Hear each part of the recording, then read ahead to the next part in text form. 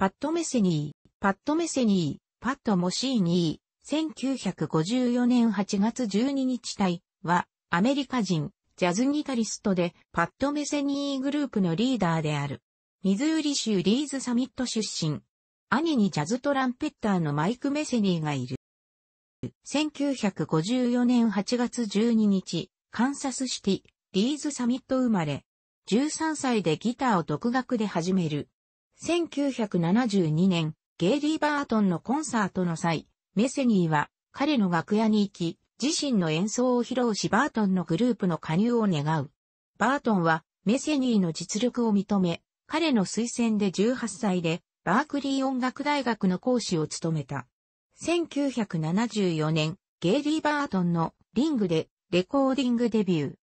1975年にジャコ・パストリアスを迎えて発表した初リーダー作、ブライト・サイズ・ライフを ECM で発表し、ソロキャリアをスタートさせた。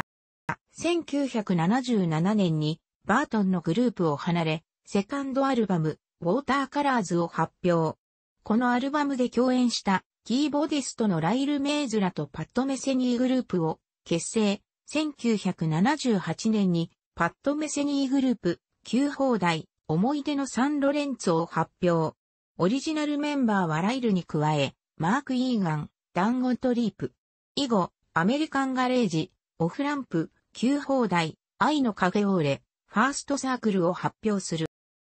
1985年に自主プロダクション、メセニーグループプロダクションを設立し、配給レーベルをゲフィンレコードと契約。1986年に同社からの第一弾アルバムとして、オーネット・コールマンと連名のソングウェックスを発表。その後、ブラジル音楽の要素を取り入れた、スティルライフ、レター、フロムホームを発表し、ヒット作を次々と生み出す。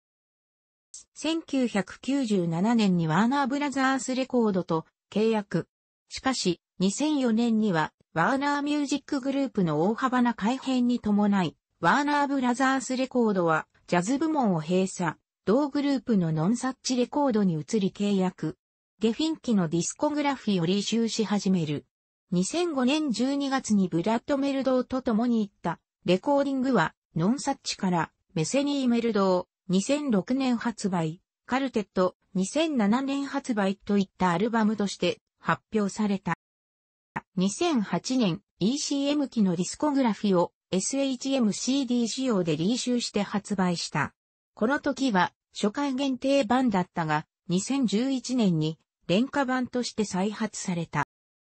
2010年には新ソロプロジェクト、オーケストリオンプロジェクトを開始。これは19世紀末から20世紀初頭に実在したオーケストリオンという機械を現代に再構築し、オーケストラ等で使用される楽器を自身の Q によって同時演奏することができる機械仕掛けである。これを用いた世界ツアーをし、11月にニューヨーク州ブルックリンにあるセントエリア教会で2日間収録したものは2013年に映像化と音源化された。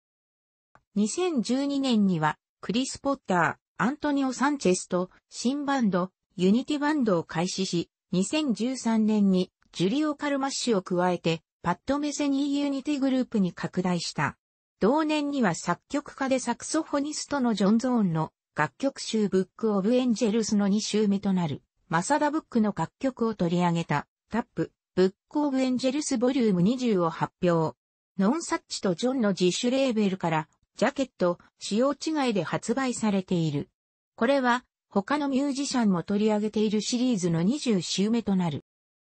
メセニーは若い頃より、ミルトン・ナシメントやローボルジェス、トニーニョ・オルタ等のブラジル音楽に興味を持っていた。オルタとは1980年にブラジル公演に来た時に、女性ギタリスト、セリア・バスの紹介で出会う。彼とは、意気統合し、レコーディング中のオルタの1980年発表のセカンドアルバム、トニーニョ・オルタに2曲参加。メセニーは自分の家にオルタを招くほどに仲良くなり、オルタのアメリカでの録音による1983年のムーンストーンにも参加。そして彼は ECM を離れた後の1987年にかねてより望んでいたブラジル音楽に影響されたスティルライフやレターフロムホームを発表することとなる。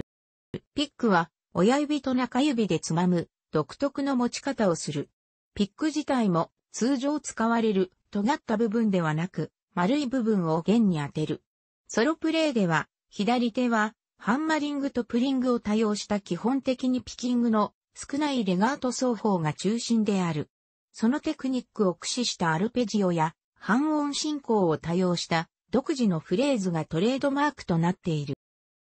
パッド・メセニー、クリス・ポッター、パッド・メセニー、クリス・ポッター、ジュリオ・カルマッシ、ダ多数、楽しくご覧になりましたら、購読と良いです。クリックしてください。